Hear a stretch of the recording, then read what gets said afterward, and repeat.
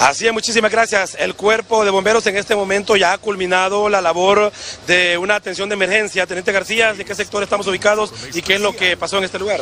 Sí, buenas tardes, Lenín. Efectivamente, pues eh, fuimos informados de un incendio estructural en la, en la colonia eh, Vistas del Valle, donde pues eh, lastimosamente pues en una vivienda tomó fuego.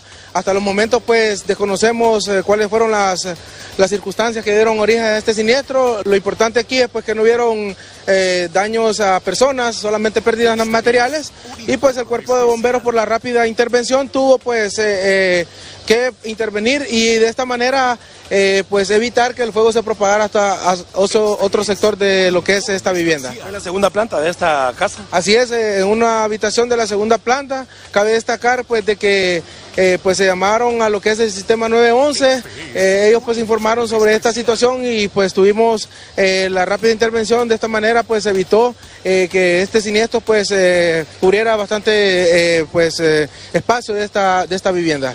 ¿Personas habían dentro de la vivienda al momento del incidente? Bueno, según la información que recabamos, eh, eh, los menores se encontraban en el interior de una habitación, lo cual es el, menor de ellos, pues eh, salió del dormitorio y la niña cuando fue a, veri- a verificar qué es lo que sucedía, pues ella manifiesta que vio unos chispazos, entonces le, dio temor y salieron de la vivienda. Los vecinos pues actuaron de forma, pues intervinieron de forma rápida también, pero la alta temperatura que estaba en el sector, pues evitó que siguieran, pues eh, queriendo pues evitar que el fuego se propagase. De esta manera, pues nosotros eh, cuando asistimos aquí al lugar, pues vimos que había bastante temperatura, pero se logró confinar el incendio. Bueno, muchísimas gracias. En este momento va entrando una comisión, me imagino que para dictaminar ya, bueno, las causas del, del incendio y lo mejor de todo y lo más importante es de que fue controlado rápidamente y que las personas que estaban en este lugar salieron hacia, pues, con rumbo de la calle. Compañeros, mi contacto a esta hora, David Matute en cámaras con ustedes, estudios.